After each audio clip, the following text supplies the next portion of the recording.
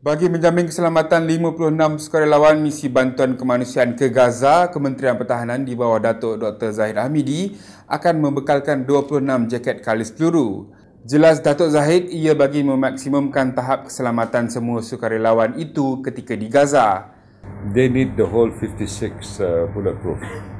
But uh, I think uh, they also ask the police force to assist. But probably uh, half from uh, armed forces and the other half from from the police force.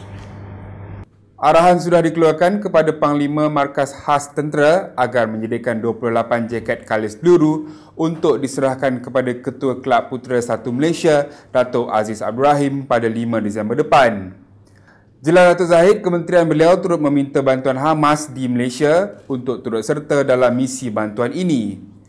Ia adalah antara faktor keselamatan yang dititik beratkan pihak kementerian bagi mengelak kejadian di Somalia berulang. September lalu, misi bantuan Kelab Putera Satu Malaysia ke Somalia mencatat sejarah hitam apabila juru kamera bernama TV, Noram Faizal Muhammad Nur, terbunuh akibat terkena tembakan semasa membuat liputan misi bantuan itu. Misi bantuan kedua ini berakhir 14 Disember depan.